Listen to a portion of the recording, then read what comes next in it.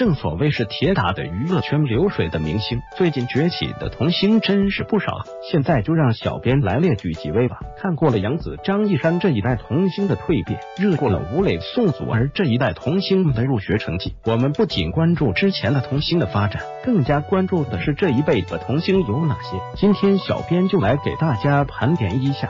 二零一八年最火的童星排行榜，分为综艺派和演技派，看一下你们的爱豆是不是在其中呢？综艺派，plusper 今年最火。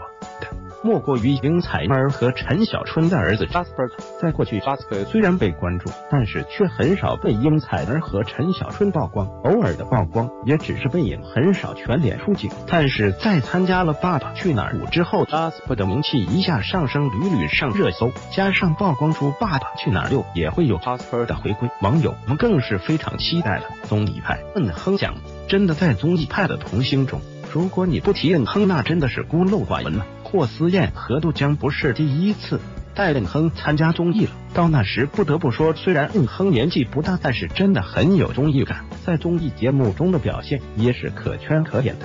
如果说嗯哼不火，那还有谁是最火的？综艺派，步步最近，贾静雯带着步步。去参加了《妈妈是超人》这个综艺，布布因为黑葡萄一般的眼睛被大家所熟知。在二零一五年八月出生的布布，才两个月大时就正式出道了，那是他第一次露出正脸，瞬间就惊艳了一群叔叔阿姨。眼睛超级大，脸蛋萌的像从卡通片里走出来的娃娃一样。演技派，叶圣彤从《花千骨》《九州天空城》到继父是偶像。